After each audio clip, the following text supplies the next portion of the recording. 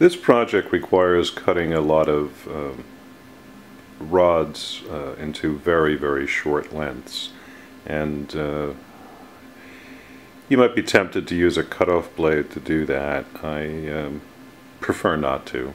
Um, so what I did was I made a simple bracket to hold my Dremel tool on the uh, on the X cross slide, and I'm using um, the the Dremel cutoff wheels. I'm using the ones with the with the blue top. They make them uh, heavy duty with a red top and so forth, and I've experimented with them. And for this particular thing, uh, it, it, I find this the best. You are going to burn through a lot of cutoff wheels because we are cutting uh, steel here.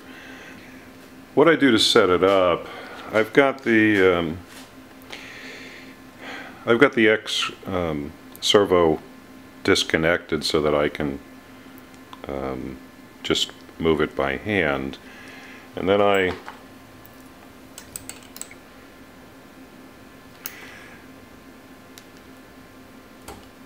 then I bring the rod that I'm cutting right up to the wheel, tighten it down.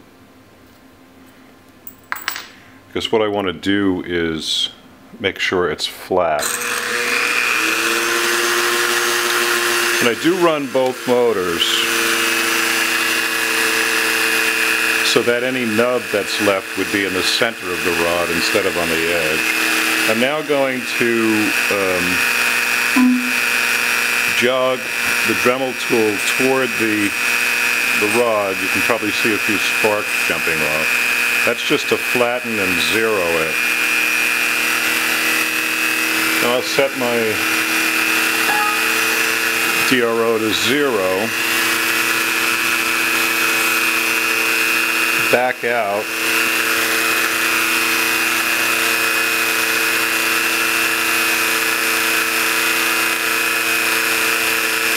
And now I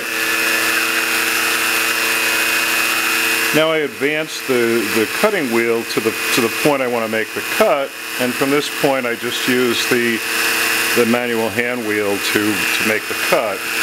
The only tricky part is the piece is going to fly off and you have to go find it.